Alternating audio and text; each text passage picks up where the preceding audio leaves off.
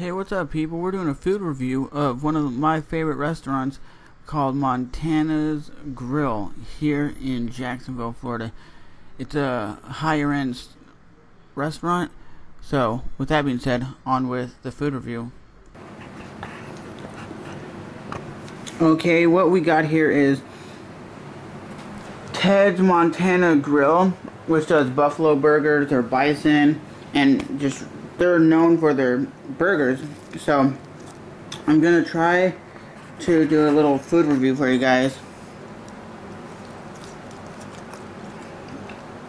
And those are the kind of french fries that I like that are kind of on the chewier side and not really overly crunchy. And when you come to this place, it is a little bit of a more expensive. It was uh, 14 bucks for the bison burger and french fries, which you guys might say that's expensive, which the place is more like an upscale kind of uh, restaurant.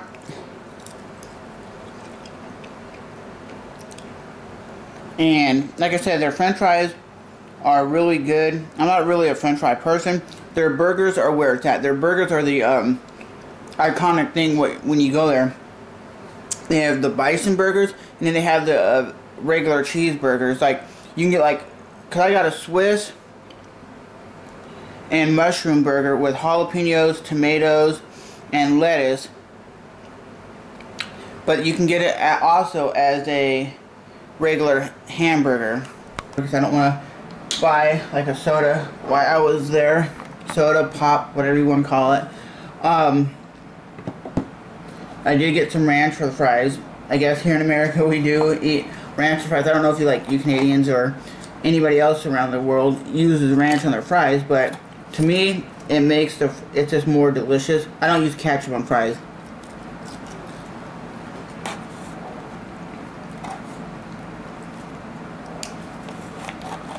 And let me hold this burger up. that is a massive ass burger and I'm gonna take my first bite of it. I'm gonna give you my honest uh, opinion of what it tastes like or my honest opinion from 1 to 10 how good it is because I've eaten here before and I've never had a burger that was like undercooked or just crappy. Oh those jalapenos are hot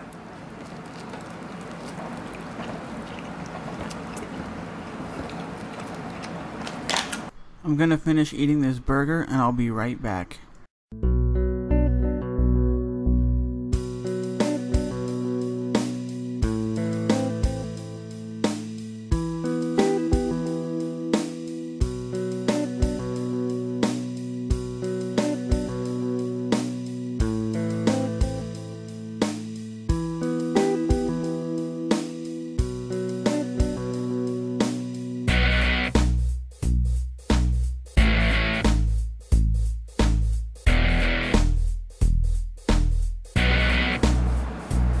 So that being said, I'll be right back. But the bun is nice. It has those uh, sesame seeds on it. It's more like a wheat bun, I think. But overall, I would have to say if you're in Jacksonville, Florida, or Orange Park, Florida, this is a must go out and get. Yes, it's a little bit, like I said, a little bit more expensive than going to like, let's say a fast food place, but the quality of food you're getting here is top notch. I don't go there that often just because it's expensive, but it is quality food. So with that being said, that is my honest review of Ted's Montana Grill.